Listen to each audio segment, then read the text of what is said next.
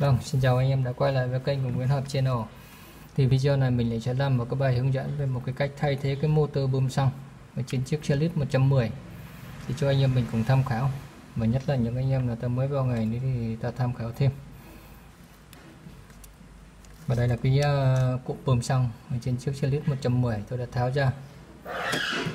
Ở trong này cái mạch à, mạch bơm của nó thì nó có bao gồm là có 4 dây này anh em và cái motor bơm này là nó có bao gồm hai dây, một dây màu đen và một dây màu đỏ còn hai dây còn lại, dây màu nâu và dây màu đen là dây kết nối vào cảm biến ừ, phao xăng và để thay thế được một cái chiếc motor bơm ở trong này, thế nào thì anh em mình ta cùng theo dõi clip.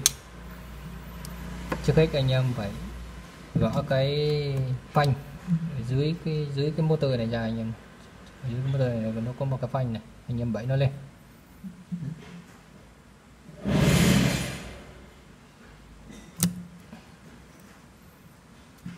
Đây anh em nhé đây là cái phanh. Tiếp theo sau đó anh em bẫy, bẫy cái à, lọc xăng ra gỡ ra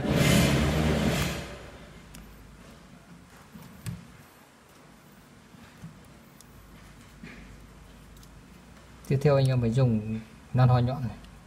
Anh em bẫy ba cái lẫy này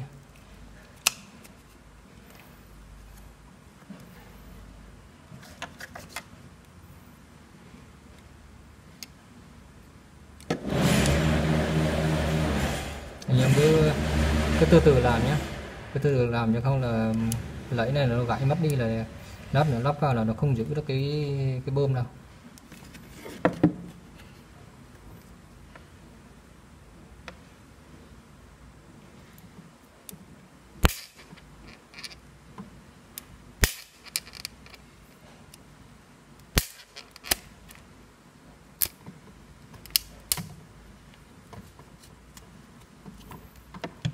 Sau đó anh em mới rút cái bơm nha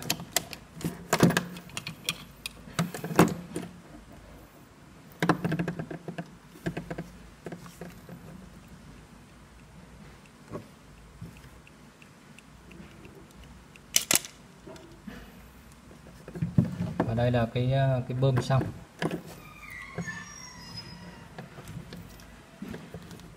Thì trong cái bơm xăng này thì nó có đánh dấu nguồn âm và nguồn dương rồi nguồn ờ, âm là tương ứng với dây màu đen này và nguồn dương là tương ứng với dây màu đỏ này, cho nên anh em cứ gỡ ra thôi nhé. Không phải đua nó lộn dây đâu.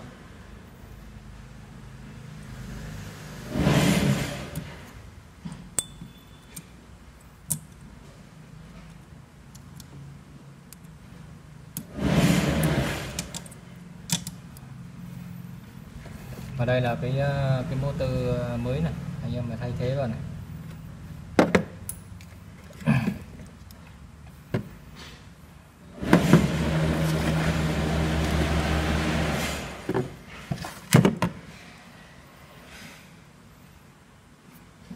và anh em lưu ý là nó có một cái rong anh em nhé anh em phải gắn cái rong này vào cho nó kín này, chứ không là nó sẽ dị xăng ra ngoài.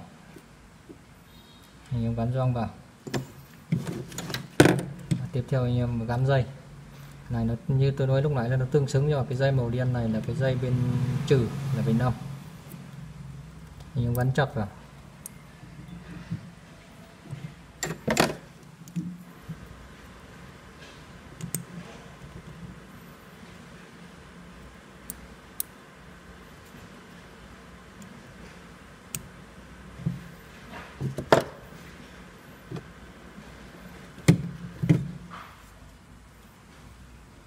Thường theo anh em vòng cái dây này ra ngoài anh em vòng ra ngoài này.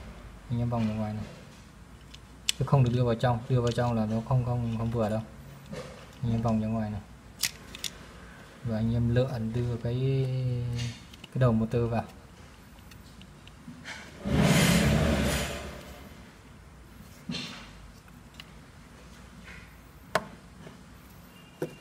Và sau đó anh em gắn cái hộp vào. Anh em nhận vào thôi.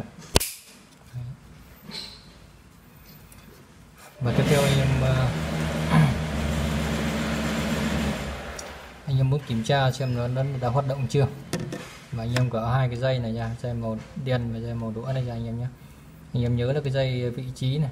Nếu anh em nào mà không nhớ ấy, thì anh em lấy cái à, điện thoại anh em chụp vào để nhớ được cái cái, cái dây nó gắn vào chân một chân hai chân ba chân bốn thế nào. Chứ không để nó có quên đi là anh em gắn lầm đấy. Anh em gỡ hai cái dây màu đỏ với dây màu đen này ra. Để anh em thử trực tiếp vào điện 12V của bình ắc quy xem là nó đã hoạt động chưa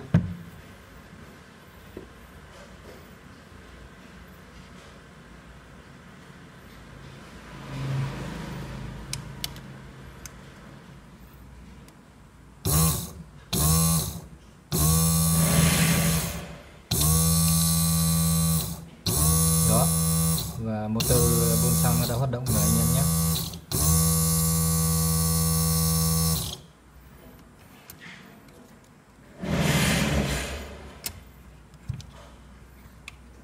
Và sau đó anh em lắp vào.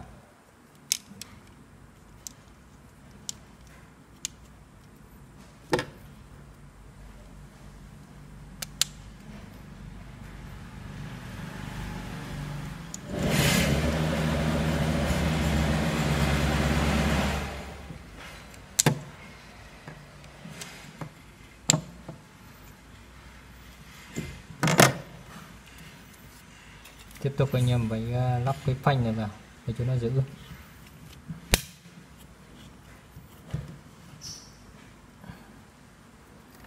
Và sau đó anh em lắp cái lọc xăng vào.